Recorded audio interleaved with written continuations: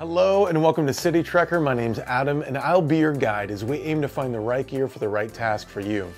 Today we're going to take a look at the GWA Gen 3 Mark II in Dyneema composite fabric.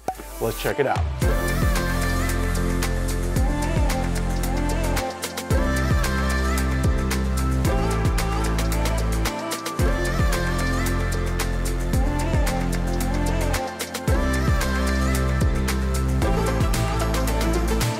This video is sponsored by Western Rise, and I've been a fan of theirs for over two years now, and I'm thrilled to have them as a sponsor. I'm wearing all Western Rise right now. I've got the Limitless Merino button-down shirt, the X Cotton tee underneath that, and the Evolution Pant 2.0, and the Versa hat. The Limitless Merino button-down shirt is incredible. I've got this in concrete, and I also have the light blue. Last week at work, I pretty much wore this outfit every single day, uh, shifting back and forth between the concrete color shirt and the light blue color shirt. It's 53% Australian merino and 47% polyester. It's moisture wicking, odor resistant, wrinkle resistant, and temperature regulating. I took this shirt on a 10 day trip to Nepal last month and it did awesome. I couldn't believe how odor resistant it was and I wore it for all of my formal meetings. So this is my new favorite formal shirt and I'm wearing it all the time. I highly recommend this shirt and I can get you 15% off using my promo code CityTrekker or the link down below. So a huge thank you to West Western Rise for sending this shirt and for sponsoring this video.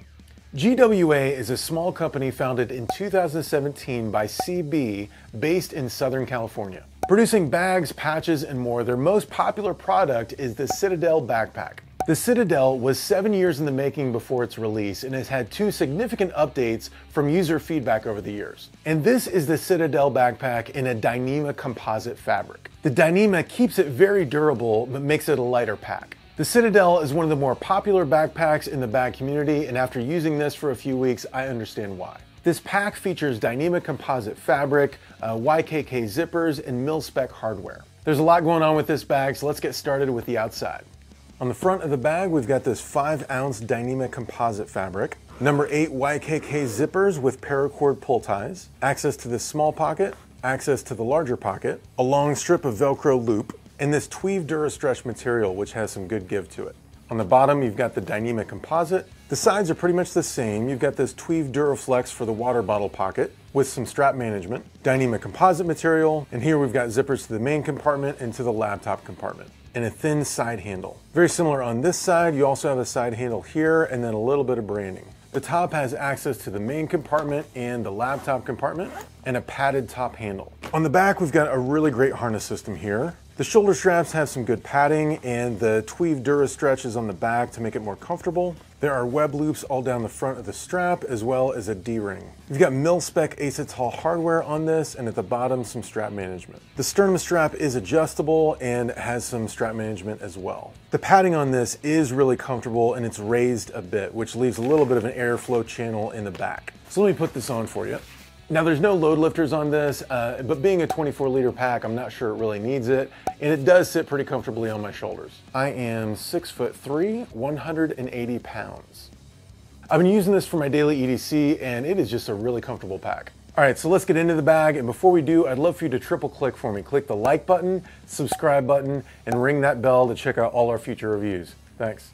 There are four compartments, two front compartments, the main compartment, and the laptop compartment. The front top pocket is uh, small, it goes all the way down to here. This top compartment has two large pockets and two small pockets. And the inside here is just the inside of that Dyneema composite. The bottom pocket is nice and spacious and it has this Tweave Duraflex, uh, so there's some give to this material. And we've got three pockets on the inside. At the back, we've got our laptop compartments. So there is a laptop sleeve and it is not suspended, but it is padded at the bottom. And then in front of the laptop sleeve, we have more space. Now, if you want to access the main compartment full clamshell, you will need to undo the side buckles for the compression straps.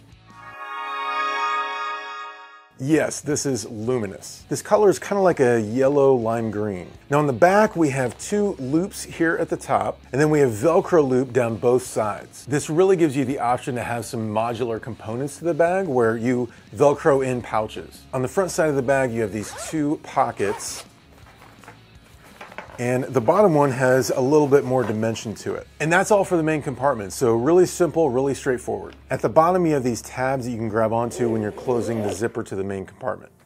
So that's it, the GWA Dyneema Citadel. This is my first Citadel, and I can tell that this is a third generation because there have been so many tweaks made to this bag that really make it ideal. This bag just has so many great features. The Dyneema composite fabric, the great harness system, the YKK zippers, just the right amount of organization, a great top handle, and so much more. There's not much that I don't like about this bag. I think I don't like this material for the side water bottle pockets. I feel like it's just kind of frumpy on the side a little bit. I would like for this to just kind of fold away. Something like the Alpha 19er uh, Pathfinder where it just goes flush against the bag.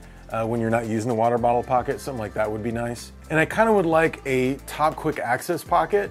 Uh, they kind of address that by having this front quick access pocket, but there's not much dimension to this front pocket, so I'd love just something small right here at the top. So that's about it. If you can score one of these, because they sell out pretty fast, Uh, I would highly recommend this bag. Hey, thanks for watching. I hope you enjoyed this review, and if you did, please click the like button down below and subscribe to the channel to check out all our future reviews. Thanks so much, and take care.